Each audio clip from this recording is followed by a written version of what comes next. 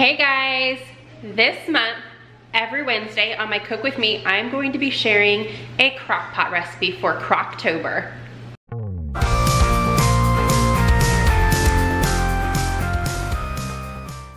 Okay, you guys, so this is the first Wednesday in October, and I am going to sort of jump on the bandwagon. I've seen a lot of people that are sharing crock pot recipes because it is fall, Crockpot recipes are so easy. I love them. There's so many to pick from. So I have decided to make this month, every Wednesday is typically when I post my food videos.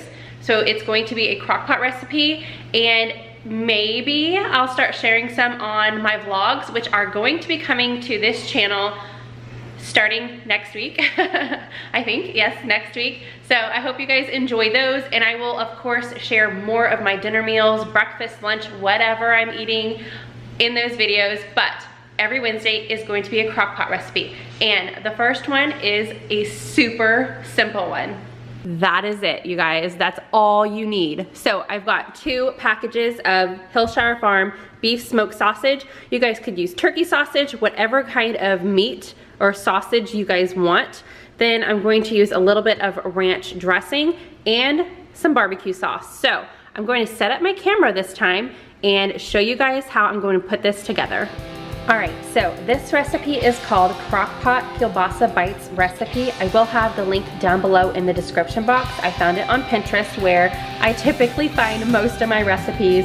Love Pinterest. First up, I'm going to slice my sausage links into round pieces. The recipe says about a quarter of an inch thick. I'm just gonna slice these puppies up. After that, I'm going to put them in the crock pot.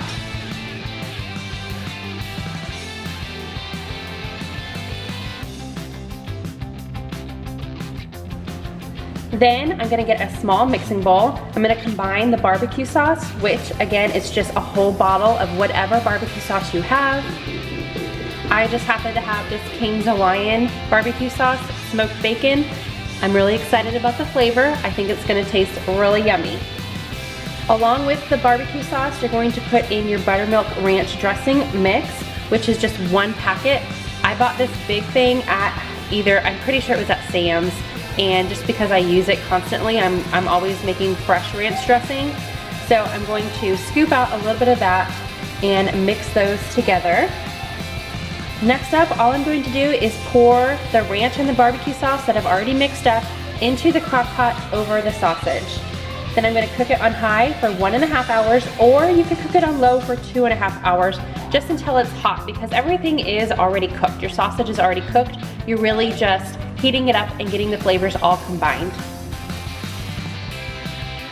Here we have it, an hour and a half later, they are done and taste amazing.